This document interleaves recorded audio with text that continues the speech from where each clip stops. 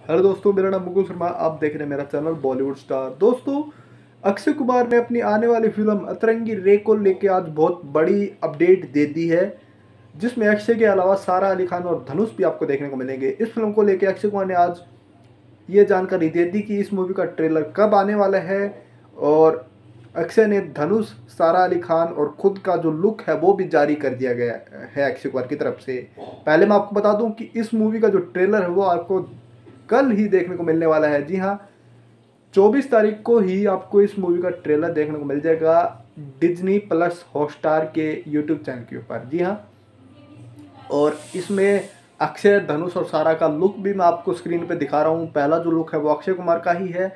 अक्षय कुमार ने अपने कैरेक्टर का नाम रिवील नहीं किया है।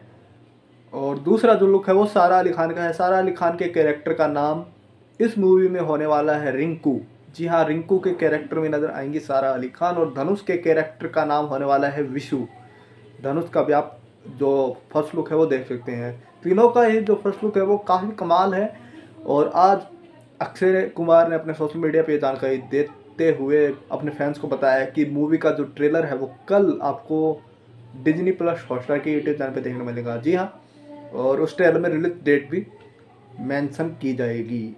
अब मेरे हिसाब से ये मूवी दिसंबर के मिड तक आपको देखने को मिलेगी डिजनी हॉटस्टार पर पहले बताया जाता है कि ये मूवी नेटफ्लिक्स ने खरीदी है और नेटफ्लिक्स इसका डिजिटल पार्टनर होगा, यानी कि नेटफ्लिक्स के ओ टी प्लेटफॉर्म पर ये मूवी आएगी। लेकिन अब जब इसका अनाउंस अक्षय कुमार ने ऑफिशियली तौर पर किया है, तब एक चौंकाने वाले बात समझ में आई कि ये मूवी नेटफ्लिक्स नहीं, बल्कि डिजनी प्लस हॉटस्टार लेके आ रहा है। और जो नेटफ्लिक्स के बारे में खबरें चल रही थी कि नेटफ्लिक्स पे बेच दी गई है अक्षय कुमार की अतरंगी रे, वो खबर बिल्कुल झूठ थी और मैंने भी उस खबर को फॉलो किया था। काफ़ी सारे बड़े बड़े यूट्यूबरों ने उस खबर को दिया था।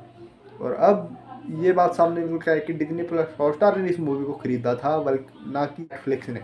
अगले महीने ये मूवी आपको देखने को मिलेगी और कल इस मूवी की रिलीज़ डेट आपको देखने को मिल जाएगी ट्रेलर के अंदर।